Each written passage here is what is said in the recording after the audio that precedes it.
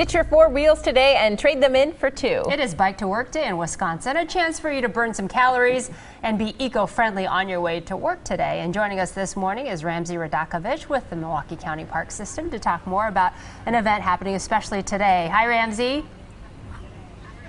Hi, how are you doing Good. Morning? I see you're equipped with your bright yellow shirt and a bike. Tell us what's happening today. You're at the Humboldt Park Pavilion? Yes, it's uh, Milwaukee County Bike to Work Day. So it's part of the Bike Federation of Wisconsin's uh, Bike Week. So this is a great opportunity to get people out utilizing bikes and getting to work. And you guys have this event uh, in June because the weather is kind of crummy during May. So you're hoping a lot of people come out today and, and bike to work instead of drive.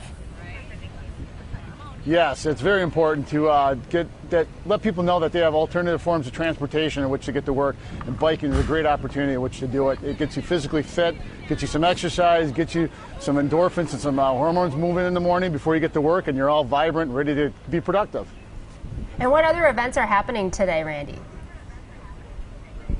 Uh, what other events are happening today? Well, I think there's a couple things. Uh, the best opportunity to look for events is the Bike Federation Wisconsin's calendars. I know they got a couple events still going on, but they had to ride with the mayor and some other events earlier this week.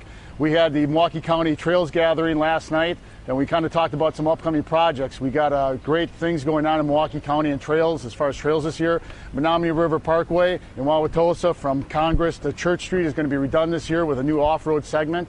Uh, we also have the much anticipated, anticipated Phase 4, basically from Estabrook north, uh, connecting to the Interurban. That's when it's longly sought after by the community in Milwaukee County and the surrounding area. So it's a great opportunity to connect trails from other different municipalities and get people connected.